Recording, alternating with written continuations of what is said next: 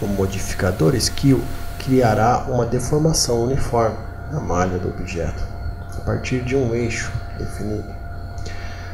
Com um cilindro na sua viewport, vá no Command Pane, Modify List e procure por Skill. Clique e selecione Skill. Mude os parâmetros de Amount do Skill. Também a sua direção. Perceba que o skill eixo X, Y e Z. Perceba as variações de acordo com o eixo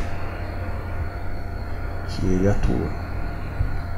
Também podemos colocar limite nos seus eixos de atuação. O eixo X, o eixo Y e o eixo Z.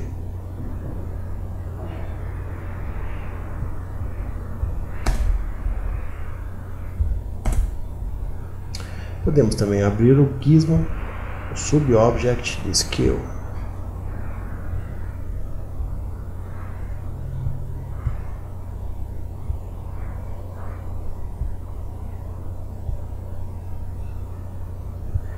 Também desabilitaremos o Limit Effect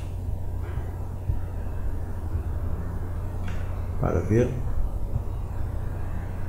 os níveis de deformações na malha do objeto.